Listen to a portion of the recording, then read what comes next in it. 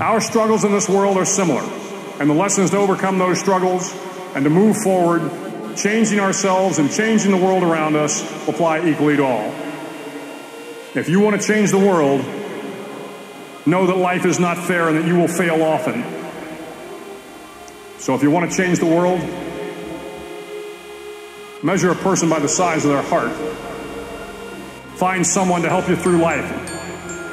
Start each day with a task completed. Respect everyone. It will not be easy. But if you take some risks, step up when the times are the toughest, face down the bullies, lift up the downtrodden, and never ever give up. If you do these things, what started here will indeed have changed the world for the better.